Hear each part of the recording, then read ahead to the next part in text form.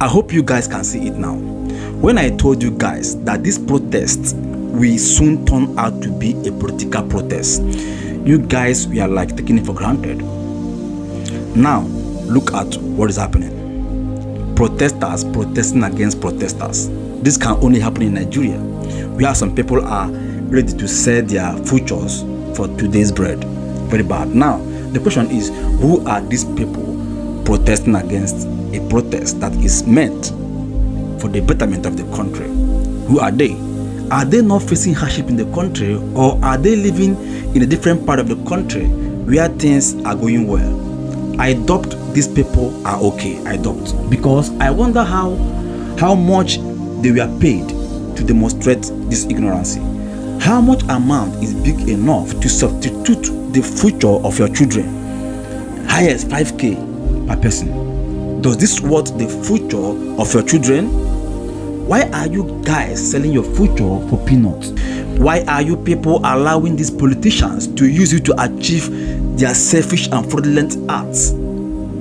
Why? They make you risk your life for their own selfish benefits while their children are outside the country enjoying life to the fullness. It is high time the youth start receiving senses. Your future is worth much more than 5k. The futures of your unborn children are worth much more than 5k. So why are you selling your future for a merely 5,000 naira? Things are going wrong in the country. Things are not working. People are dying hardship everywhere, inflation everywhere, and someone is protesting against a protest that is meant for the bad governance. What are you thinking? How much are you paid? How much were you giving to sell your conscience? Are you enjoying the present condition of Nigeria? Are you enjoying the hardship?